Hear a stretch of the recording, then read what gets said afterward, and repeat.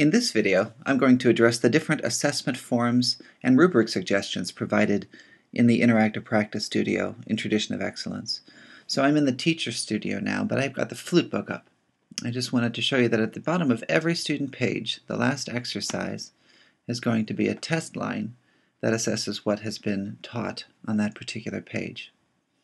Uh, the star icon in the student book, as you may recall, opens the self-reflection form for the student that the student can then fill out after listening to their performance, recording their performance, listening to it, and reflecting on how they've done. But the, in the score, we offer an assessment form for teachers as well. So I'll just switch back over to the conductor score here and go to the same exercise. It was number 92. And in the teacher score, you can see that this test icon is breathing. That means there's something to click on there. If you click on there, you get the tailorable PDF that's an assessment form for you. We've made a Woodwinds Brass one. And again, it's tailorable, so when the student comes in uh, to play for you, you can just type and listen to their performance and assess, or listen to the recording that they've sent you and do the same thing just to make it a little easier and faster for you. We have a separate assessment score sheet for the percussion section. And again, it's tailorable. And then we've provided the beginnings of a sample rubric.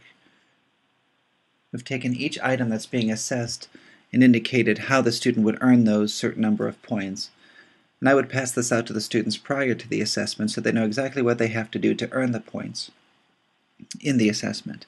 Now we've only done a few of them here for you, uh, because every teacher is going to want to design a rubric that is specific to their students' needs and to what uh, th they are assessing in the particular exam.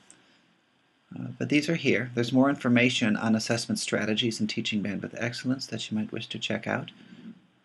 Um, and then after you're finished, you could just print these off, or if you're doing winds, print page 1, percussion, print page 2, or you can save them as a PDF and then email them back to the students um, however you'd like to, to deal with that. Uh, but you're in a, in PDF, and then from there, however you choose to save or use the information is completely up to you. But again, these PDFs are linked through every test icon in the book through the Interactive Teacher Studio.